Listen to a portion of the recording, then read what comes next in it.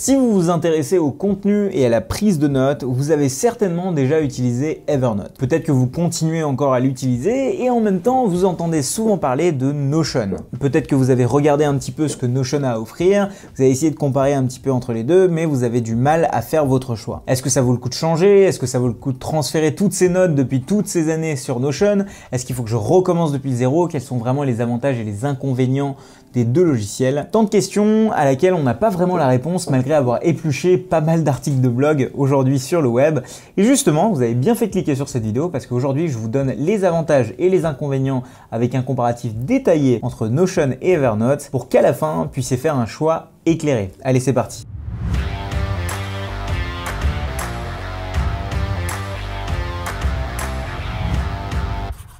Pour commencer, qu'est-ce que c'est qu'Evernote Evernote, c'est un outil de prise de notes qui est très populaire, qui vous permet d'organiser vos notes avec des tags, avec différents notebooks, avec lequel il y a une application mobile sur laquelle vous pouvez prendre des notes sous format audio, photo, vous pouvez aller rechercher directement sur vos notes de manière assez simple. En fait, c'est un outil de prise de notes avec une recherche avancée. Et justement, commençons un petit peu par ses avantages.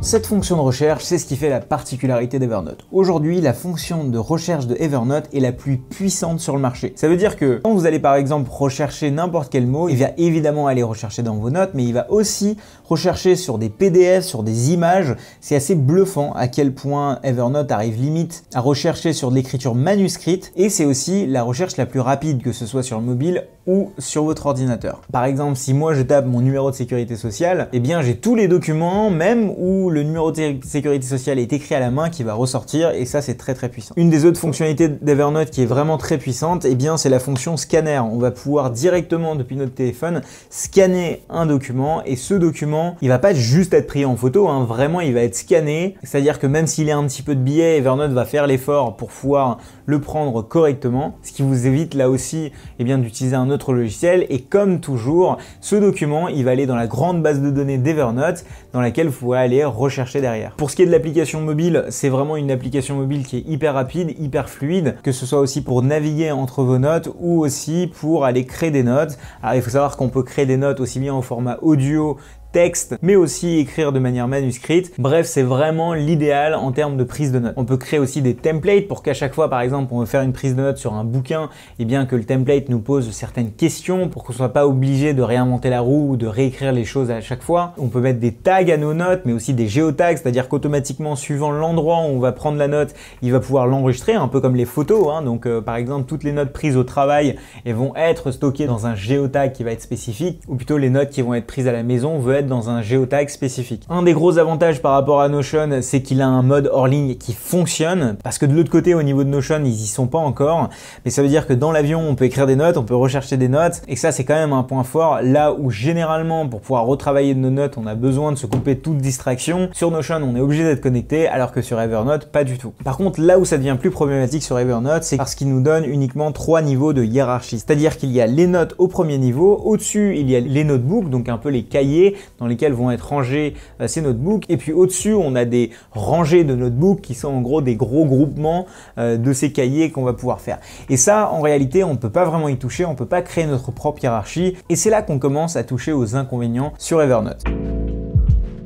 Donc pour ce qui est des inconvénients d'Evernote, je l'ai dit, c'est la hiérarchie fixe, c'est-à-dire qu'on ne peut pas aller au-delà de cette hiérarchie en trois parties, ce qui est assez dommage. Maintenant parlons du prix, comme je vous ai dit, la synchronisation n'est pas quelque chose de natif. C'est-à-dire que si vous avez plusieurs appareils, ce qui est mon cas, je suis obligé de payer. Et je trouve que le fait d'avoir cette limite de synchronisation d'uniquement deux appareils en gratuit, contrairement à Notion qui est totalement gratuit pour le coup, eh bien ça m'embête un petit peu, et ce qui fait que je vais souvent plus vers Notion. L'autre inconvénient, c'est que justement c'est juste un outil de prise de notes et pas un outil de dashboarding, c'est-à-dire qu'on ne peut pas créer des tableaux de bord on peut pas mettre ces notes de ce type-là à droite, on peut pas mettre les notes d'autres types à gauche. Et ça, ça va vite devenir un problème quand on va vouloir organiser un petit peu mieux visuellement ces notes. En fait, on a des vues dans Evernote, mais ce sont des vues préconfigurées. On est obligé d'afficher nos notes d'une certaine façon.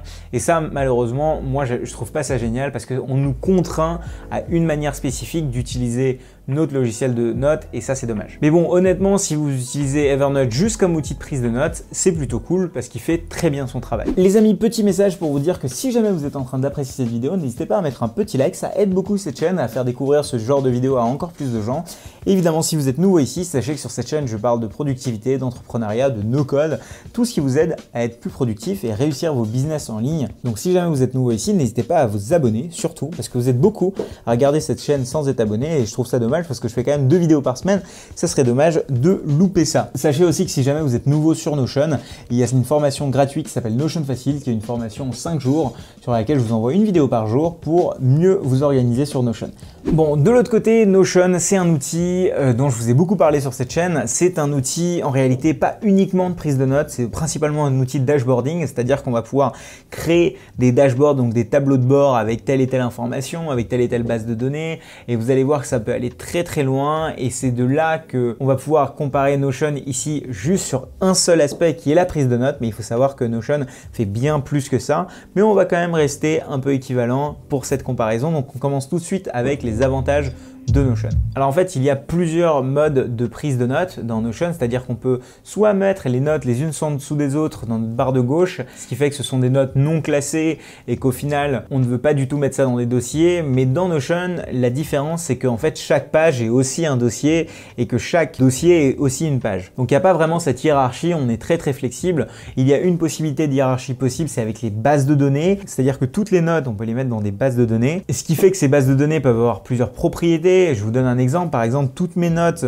d'entretien téléphonique, elles sont dans une base de données qui à chaque fois ont une date, ont un interlocuteur, etc., etc., ont aussi un template comme dans Evernote où à chaque fois je suis pas obligé de réinventer la roue, de réécrire les mêmes choses. Et justement ces bases de données, on va pouvoir les regarder de plein de façons différentes. Hein. Je compare souvent ça à un dé où en fait la donnée, donc vos notes sont dans un cube et puis derrière sur ce cube bah, il y a six facettes et on peut voir cette euh, donnée sous format d'un calendrier trié par la date. On peut aussi voir ça sous forme de liste, sous forme de galerie. Bref, on a plein de vues disponibles sur Notion et c'est ce qui fait sa richesse. Au-delà de ça, dans le contenu des notes, eh bien, on va pouvoir embed, c'est-à-dire qu'on va pouvoir rajouter euh, beaucoup plus de choses et pas uniquement des PDF ou des images. Donc ça veut dire on va pouvoir rajouter des liens de podcast, des vidéos YouTube qui vont pouvoir se lire directement dans la note. Bref, en termes de médias riches, on va pouvoir aller beaucoup plus loin sur Evernote. Et puis il y a un élément qui est fondamental sur Notion, c'est les backlinks. Les backlinks, c'est la possibilité de lier plusieurs notes entre elles. Aujourd'hui sur Notion, c'est assez simple, hein. il suffit de faire crochet-crochet et de mettre le lien de la page et puis derrière l'autre page, c'est qu'il y a un backlink, donc ça fait une connexion entre ces deux éléments. Et ça pour les notes, c'est hyper intéressant parce qu'une note en soi toute seule ne veut pas dire grand-chose. C'est vraiment parce qu'elle est connectée à plein d'autres notes que ça va valoir le coup de l'utiliser. Les inconvénients, eh bien je commencerai par le fait de pas avoir de mode offline. C'est vraiment un gros problème chez Notion, c'est-à-dire que dès que je suis dans l'avion, je peux pas utiliser Notion tout simplement. Enfin si, je peux l'utiliser avec les pages qui étaient déjà chargées dans mon navigateur, mais c'est vraiment un souci. Ils sont en train de travailler dessus, mais je sais aussi que c'est pas leur priorité et ça, si jamais c'est important pour vous, eh bien laissez tomber Notion pour le moment. L'autre inconvénient, c'est qu'il y a quand même un peu de choses à comprendre sur Notion dès le début. On peut être souvent perdu parce qu'il y a tellement de possibilités, justement l'outil est tellement malléable contrairement à Evernote qui nous donne un cadre, eh bien qu'on peut être perdu au début, on peut avoir des dans tous les sens et que si jamais on ne s'oblige pas à les organiser, eh bien ça devient très vite le chaos. Alors qu'Avernote de l'autre côté, il est fait pour que ça soit un petit peu dans le chaos vu qu'il y a une fonction de recherche qui, est, qui est assez avancée. Contrairement là aussi à Notion où la recherche elle est pas géniale encore. Je trouve que ça met encore un petit peu de temps contrairement à, Evernote qui va aller chercher dans des documents. Notion là ici est un peu à la ramasse là-dessus. L'autre élément c'est l'application mobile qui est bien, qui est minimaliste, mais je trouve que là aussi en termes de prise de notes, elle n'est pas forcément celle qui s'ouvre le plus rapidement et donc en termes de rapidité, eh bien Notion c'est pas forcément non plus extraordinaire sur l'application mobile et j'irai là aussi sur Evernote. Mais bon, en conclusion, qu'est-ce qu'on doit comprendre? Alors si on récapitule, eh bien si on parle de la prise de notes uniquement, si vous n'avez besoin hiérarchiser vos notes, eh bien Evernote fait très bien l'affaire. Hein. l'application mobile est très rapide, même l'application en général est très rapide. Dès que vous avez une idée, que vous prenez une note, eh bien ça c'est hyper bien fait, que ce soit sur Mac ou sur Windows, eh bien l'application s'ouvre très rapidement et du coup vous pouvez littéralement capturer tout ce qui vous vient par la tête. Par contre, derrière, dès qu'il s'agit eh bien d'aller un peu plus loin, de pouvoir montrer ses notes, de pouvoir hiérarchiser comme on le veut ses notes, là Evernote, bah, on trouve vraiment ses limites. En revanche, pour tout ce qui est recherche et facilité d'utilisation, si on veut juste faire de la prise de notes, il faut aller vers Evernote sans se soucier du reste. Maintenant, de l'autre côté, Notion, bah, ça va demander déjà un peu plus d'effort d'un point de vue euh, compréhension de l'outil parce qu'il faut comprendre un peu plus de choses. C'est pas juste un outil de prise de notes, on l'a dit. Une fois que vous avez compris les bases, eh bien, en termes d'organisation, là, c'est beaucoup plus complet parce que ce n'est pas uniquement un outil de prise de notes. On va pouvoir évidemment prendre des notes, mais aussi organiser un petit peu notre travail, nos différents workflows, faire en sorte que ces notes vivent dans un écosystème qui soit connecté. On a parlé des backlinks par exemple. Donc en fait, Notion va vous permettre de faire plus de choses à la fois et c'est souvent le cas quand on prend des notes. On prend pas des notes juste pour prendre des notes,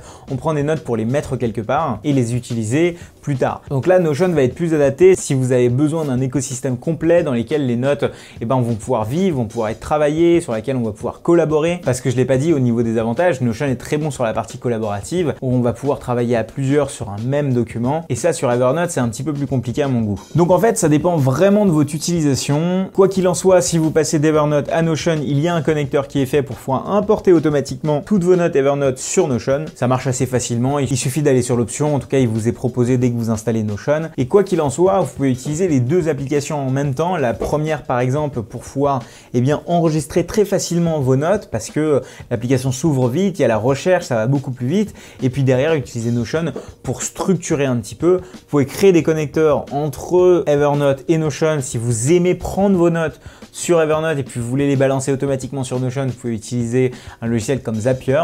Et justement, je vous propose d'aller regarder la vidéo sur le guide complet que j'ai fait sur Zapier.